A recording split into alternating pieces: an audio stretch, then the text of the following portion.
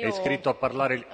iscritta a parlare la consigliera Guadagno. Prego, consigliera, per tre minuti in dichiarazione di voto sulla delibera ne ha facoltà. No, io colgo l'occasione per ribadire la differenza insomma, che il nostro regolamento in ogni passaggio è stato promosso e approvato da tutti i municipi, è stato condiviso e sostenuto eh, dagli artisti di strada e eh, ora è stato promosso dalla commissione competente, mentre volevo insomma, evidenziare che per quanto sia uguale il regolamento insomma, del, del, consigliere Corsetti invece ha ricevuto, mi dispiace per lui, non credo che sia solo questione di sfortuna, ma tre bocciature, tre bocciature a livello di, sia da parte degli artisti di strada che eh, dai municipi, dal suo partito, anche nella passata consigliatura e anche eh, dall'Assemblea Capitolina. Questo per ribadire le nette differenze che sono state ricalcate anche dal suo stesso, dal suo stesso partito. E oggi siamo, siamo, felici di poter approvare questa delibera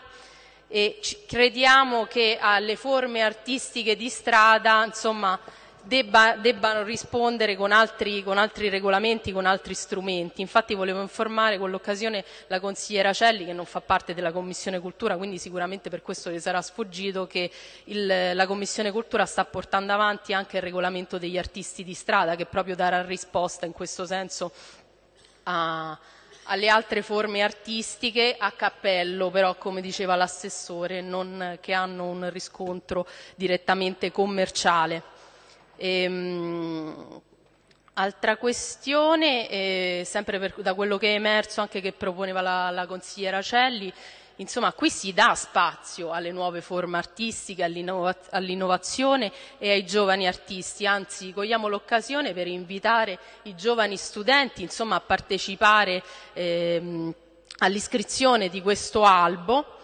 e, e alle, alle, nuove scuole d'arte, ai nuovi artisti di presentarsi, insomma, perché può essere anche per loro una risorsa eh, che la città eh, vuole dare per creare nuove opportunità eh, lavorative e di, di, spazi di incontro culturale. per questo insomma, noi voteremo a favore e grazie Presidente, grazie a tutti quanti.